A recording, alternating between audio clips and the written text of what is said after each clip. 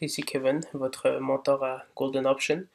Euh, bienvenue pour cette récapitulation hebdomadaire de notre semaine de trading précédente du 10 février au 15 du même mois. Donc euh, nous avons pris un seul trade sur euh, la paire GBP AUD, donc la livre sterling comparée à le dollar australien.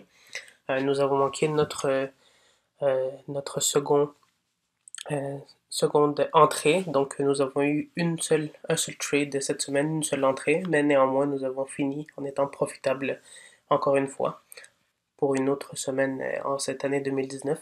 Ah, donc ici nous avons eu la paire GBP AUD qui était euh, le prix était pris était emprisonné dans un dans une channel euh, à la baisse. Donc nous voyons ici justement que euh, dans une channel à la baisse, on vient euh, rentrer en position dans le marché quand le prix vient toucher et euh, résister, confirmer qu'il va rester dans le channel lorsqu'il touche la résistance. Donc ici nous avions un premier touch, un second, un, troisième, un quatrième et nous avions le cinquième ici à notre entrée.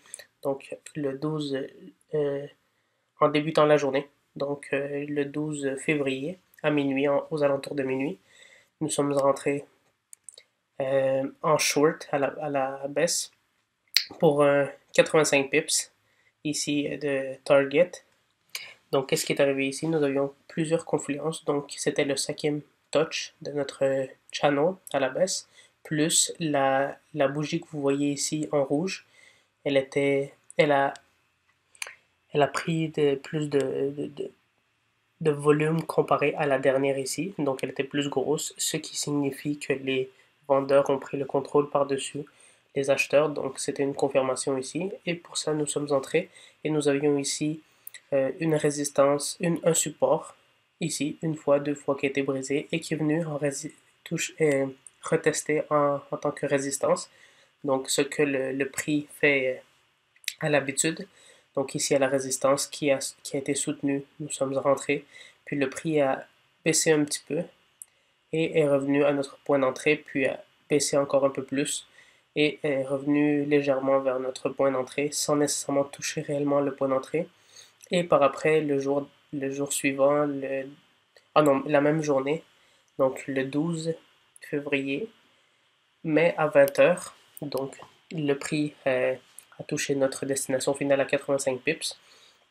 Puis nous avons récolté ces 85 pips pour cette semaine, malgré que ça n'a été qu'un seul trade, mais qui est déjà très bien comparé euh, à tous les autres traders qui prennent beaucoup plus de, positions ou de, de paires pour euh, capturer ne serait-ce que 85 pips.